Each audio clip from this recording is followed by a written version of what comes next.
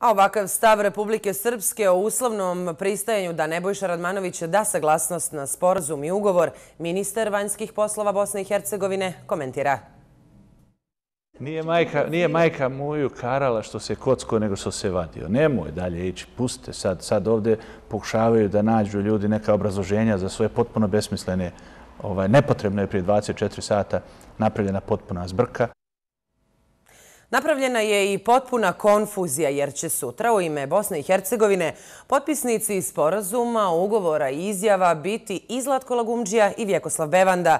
Predsjedavajući vijeća ministara će potpisati sporazum o graničnim prelazima i ugovor o pograničnom saobraćaju, a jučer je predsjedništvo dalo saglasnost da ministar vanjskih poslova bude potpisnik zajedničke izjave o nesmetanom korištenju luke ploče i slobodnom prolazu robe i dobara kroz Neum.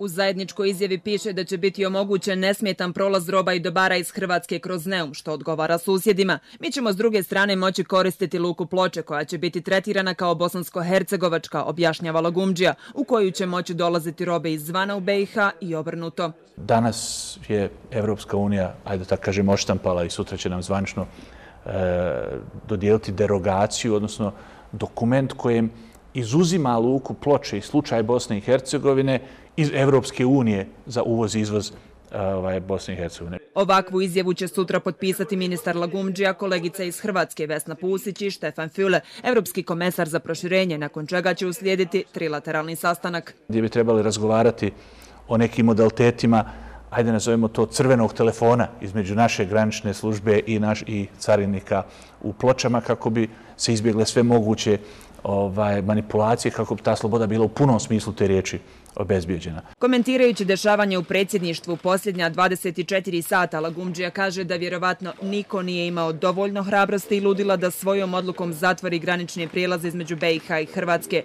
Na Radmanovićeve zamjerke o tome da se sva četiri prijelaza za izvoz roba biljnog porijekla nalaze na teritoriji federacije, ministar kaže. Granični prijelaze su svugdje u svijetu.